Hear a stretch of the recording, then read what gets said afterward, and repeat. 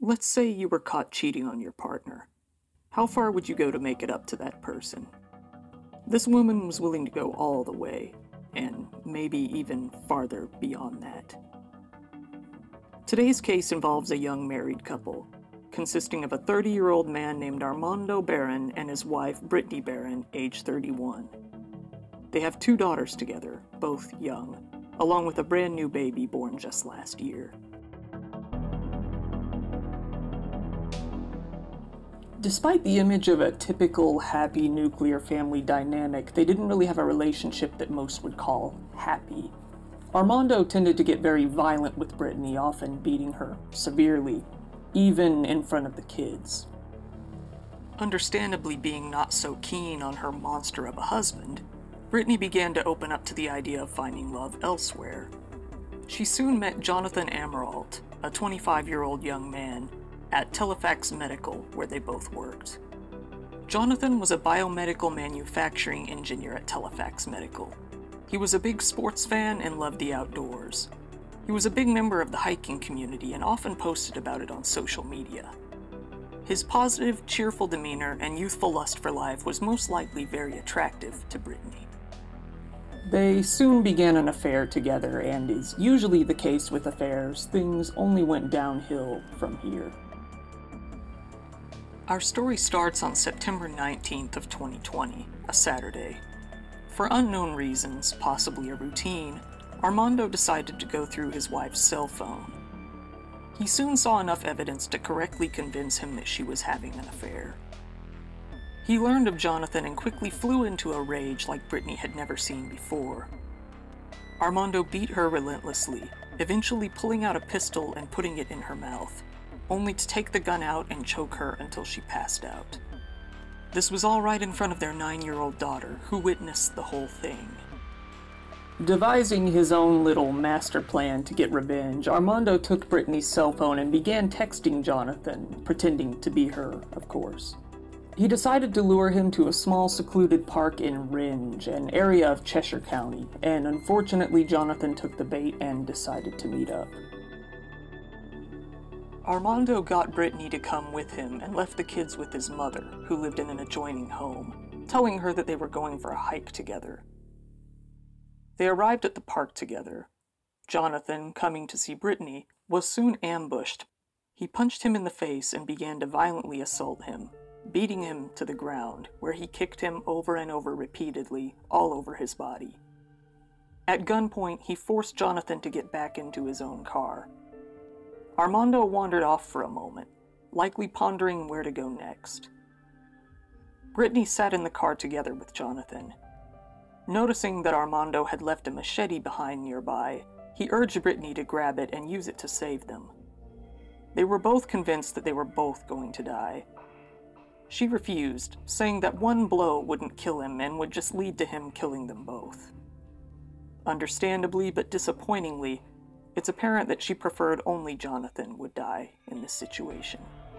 Armando returned to the car. He got Britany, put his gun in her hands, wrapping his hands around hers as to lead her. He ordered her to shoot Jonathan. However, as she held the gun, she refused to move her finger to the trigger. Annoyed and enraged, Armando ripped the gun out of her hands and took it back. Instead, he ordered her to cut Jonathan's wrists. Sadly, she agreed and complied.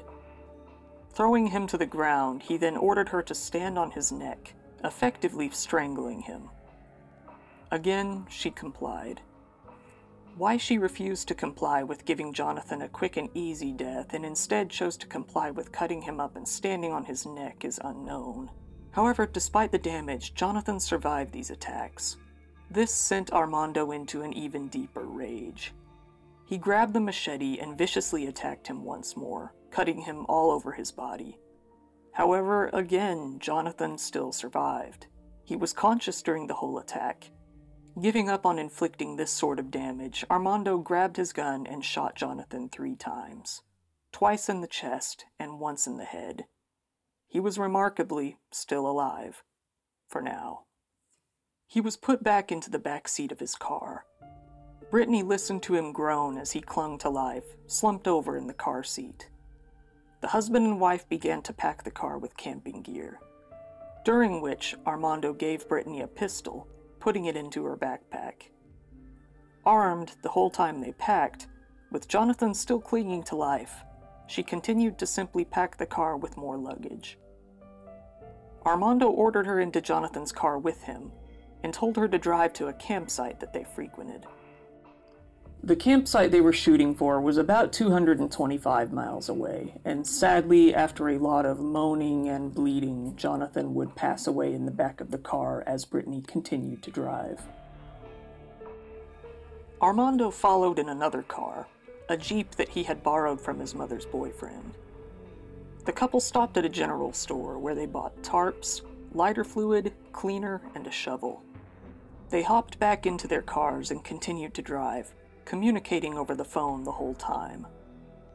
Armando told her that he was sorry for making her do this, but that, quote, once the sun comes up in the morning, I can forgive you.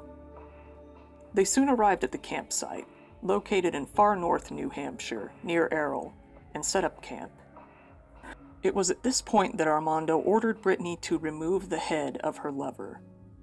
It wasn't a suggestion, and it wasn't up for debate she did so. He had her put the rest of him into a tarp, which they then rolled up, intending to bury it elsewhere. It was at this point that the couple now decided that they should probably form an alibi at some point. Armando picked up Jonathan's cell phone and began texting his friends and family, making it seem that he was still alive somewhere. On the other side, Britany called her workplace and informed them that she wouldn't be coming in on Monday, or possibly ever again. Two days later, on Monday the 21st, Jonathan failed to show up for work, something very unusual for him. His family and friends hadn't heard from him since that Saturday. His mother reported him missing, believing that something had likely happened to him on a hike. However, she did notice that his hiking gear was still at his home. Police came to his home but found no trace of either him or his car. Talking to his co-workers, they heard of his likely affair with Britany, and they also learned of her notable absence as well and set off to look for her. Realizing now that people may come looking for Britany, Armando ordered her to start texting her friends. He told her to tell them that she left for a while to clear her head. Going the extra mile, she also texted another friend and said that she was moving to New Mexico to start over and get a fresh start saying that she wouldn't be seeing her kids again anytime soon. Her friends pressed her to tell him where she was, but she refused. Armando decided to head home, leaving her at the campsite. He left her with two guns, one of which was the murder weapon, for protection against the wildlife. He told her that she had better have disposed of the body by the time he came back. He said that he'd be back on Friday and expected it all to be over and done by then, giving her about a week to do the deed. Britany then buried the head of her lover. It's hard not to wonder what was on her mind at the moment. She wiped down Jonathan's car, burned all of his belongings, including his identification, and broke all of their cell phones. Looking for Britany, police ran into Armando, still driving the Jeep near their home, and asked if he knew where his wife was. He told them that he had last seen her on Sunday when he dropped her off to go camping with a few friends. The next day, on Tuesday the 22nd, a number of hunters would pass by Britany's campsite, informing her that it was illegal to camp there. Feeling something was off, one of them notified the New Hampshire Fish and Game office. Two officers came up to investigate the scene, soon arriving at her campsite. They noticed a large brown tarp weighed down with sticks and stones, covering a car a short distance away. They also noticed drag marks in the mud, leading down to a small ravine where they found the body wrapped in a tarp. Britany's response was simply, I'm in big trouble. She was soon taken into custody. The body was scheduled for an autopsy that Thursday, obviously being suspicious as all hell. Thursday, the 24th, in custody, Britany was formally arrested. She confessed to everything, giving every detail she could think of. She told them about Armando discovering the affair, about how he beat her, and about how he killed Jonathan. Interviewers noted her two black eyes, burst blood vessels in her left eye, a bruised nose, a chipped tooth, cuts to her head, bruises on her arms, and marks around her neck consistent with strangulation. She was charged with three counts of falsifying physical evidence due to her disposal of the body and her destruction of his property and identification. One day later, on Friday the 25th, the police caught Armando as he was driving away from the home with one of his daughters. He told the officers that he was planning to take her somewhere private so that he could tell her that he and his wife were having a divorce. He was taken into custody as well, where he was arrested and charged with capital murder, along with charges related to the beating and threatening of his wife. He claimed to be completely innocent, so uh, take that as you will. Britany appeared before the judge that day, where her lawyer gave a passionate request to release her from jail. He insisted that everything she did was under severe duress after having already been severely beaten. Not to mention that Armando was armed the whole time he was giving the orders. She had no record, had no history of violence, fully cooperated with the police, and told the whole story. In plain English, she helped solve this crime, he said. He further insisted that she needed to be at home with her daughters and requested that she be able to leave with electronic monitoring. However, the prosecutor disagreed. He noted that she had multiple chances to fend off her husband both before and after the crime. There was the moment they were both left with a machete, the moment the gun was in her hands, and the entire time she was armed with a pistol in her backpack. She also drove a separate car for a three hour trip never veering off course to get help, never calling anyone other than her husband. When she was alone in the woods, she could have asked any number of the hunters who came across her for help as well, which she never attempted. He stated that, if released, she may still pose a danger. She obeys orders from her husband, no matter their severity, and may continue to do so, he pressed. Of course, it was argued that everything she did was under severe duress, that she was being threatened with her life, and that she was terrified of her husband. But in the end, however, the judge agreed and refused her bail. Uh, there was no debate on Armando getting out on bail, however, he's in there for good. In court, the prosecutor further argued, saying, the brutality of the crime combined with the destruction of evidence in a capital murder was especially alarming. He continued to say that, had the evidence been completely destroyed, they may have even gotten away with the crime.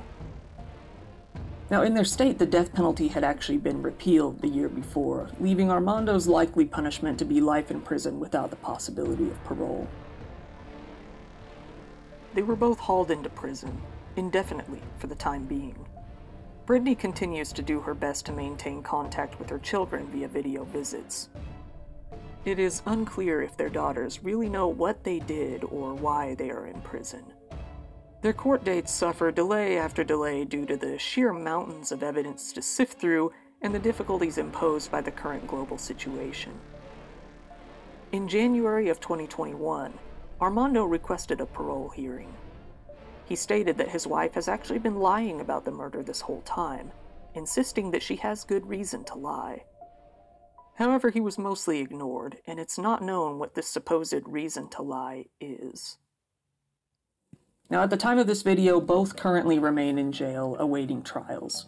Britany is likely to receive about a year in prison for her crimes, which she has already served a substantial amount. Armando, however, will likely never see a day outside of jail. Again. The family and friends of the victim, Jonathan Amerault, are in grief and understandably extremely distraught about what happened. As his best friend shared on Facebook, he was murdered and left alone for four days. I am disgusted, I am angry, and I am terribly sad.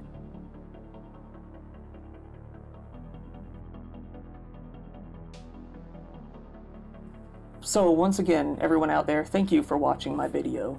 Uh, you'll notice I look like shit today that's all. That's the end of that statement. So if you enjoyed the video, please give it a like, uh, share it if you found it interesting, subscribe if you want to see more odd, kind of lesser talked about crimes. And uh, yeah, I'll be around. So see you next time.